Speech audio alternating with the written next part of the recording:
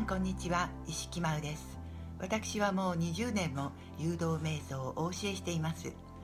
この番組では皆さんに感情をコントロールする誘導瞑想の仕方をお教えしようと思います。皆さんはただこれを聞いて眠るだけ。それだけで十分です。では今日のテーマはこれです。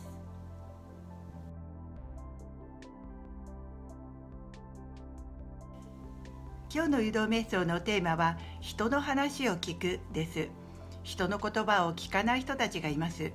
例えば子供の頃そんなに薄着だと風邪をひくよと言われても大丈夫と言って飛び出して後で風邪をひくというような人たちです。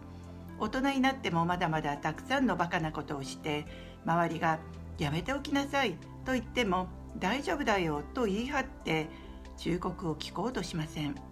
例えば車のスピードを出しすぎてぶつけるとか何かを食べ過ぎてお腹を壊すとか後で痛い思いをします。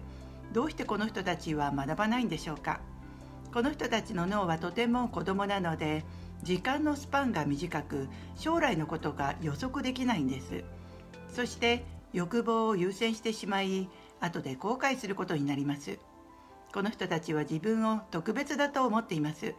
ですから人が注意しても自分は特別だから大丈夫と思っています。一体何が特別なんでしょうか？何の根拠もないんですよ。この状態だと年齢が高くなるにつれどんどん困ることが増えます。行動範囲は広がるのに人の言うことを聞かないので危険が増えますがこの人たちはその危険を人の言葉を聞かなかったからだと認識できません。自分が不運だったくらいにしか思っておらずその後もやはり人の言葉は聞かないんです。周りはハラハラするだけではなくもし家族ならばお金がかかるなどの実質的なマイナスがあり腹が立ってきますから家族との関係も悪くなります。ですから直した方がいいですね。まずは自分は特別他の人はそうでも自分だけは違うと思うのをやめなくてはいけません。どれだけ自分がバカかということをまず認識させる必要があります。もちろん大丈夫と言い続けて人の言葉を聞かない人はそもそもこの誘導瞑想を聞かないでしょう。でも年齢が高くなってくるとだいぶ自分がバカだったと分かってきてやめたいのにでもまだやめられないという人にこの誘導瞑想はぴったりです。もし自分ではなく夫や子供がこういう状態の時にはあなた自身がこういう状態だと思って聞いてください。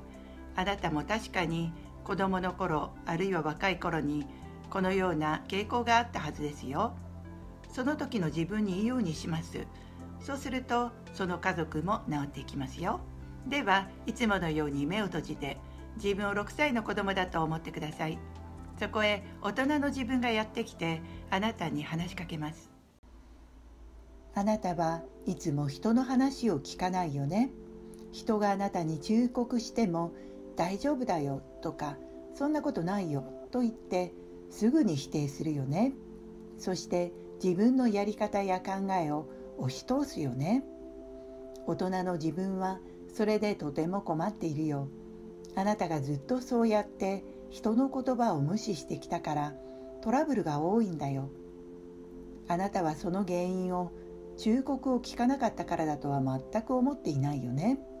でも忠告に素直に「分かった」と言えば作らなくてもよかったトラブルがたくさんあるんだよ。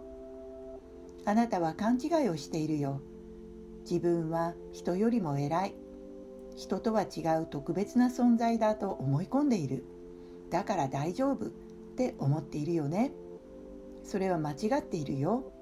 あなたの頭はまだ赤ちゃんなんだよ。自分の経験が少なくて世界が狭いくせに自分の考えが一番だと思い込んで人の話を聞かないからこうなるんだよ。自分を偉いと思うのはやめなさい。そしてちゃんと人の言うことを聞きなさい。人は自分に見えていないものが見えているのだと知りなさい。何かを言われたら素直に「そうだね分かったよ」と言いなさい。もう大丈夫だよはやめなさい。もっと人の話を注意して聞きなさい。人の言葉の裏にある意味を受け取りなさい人を自分よりもバカだと思うのはやめなさい自分がバカなんだと知りなさい自分は特別だから大丈夫なんだと思い上がるのはやめなさいどこにも特別な理由なんかないよ欲望を優先させて人の言葉を無視するのはやめなさい。人の話をよく聞きなさい。人の注意を聞きなさい。すぐに大丈夫だよと言い張るのはやめなさい。人の言葉をうるさいと思うのはやめなさい。ちゃんと人の言葉を取り入れなさい。自分が一番偉いと思うのはやめなさい。自分だけは大丈夫と思うのは自分を特別だと思っているということだよ。あなたは全然特別じゃないよね。自分がバカだと知りなさい。そしてちゃんと人の言うことを真剣に捉えなさい。大人の自分はあなたの安全を守りたいんだよ。だから人を通してあなたに忠告しているんだよ。それを無視したりバカにしたりするのはやめなさい。人があなたに教えている間はあなたを心配してくれているんだよ。あなたのことを見放したら誰も忠告してくれないよ。だから今のうちに考え直して人の言葉に耳を傾けなさい。大人の自分はそれを期待しているよ。人の忠告は金の言葉。人の言葉は愛の言葉。そう受け取りなさい。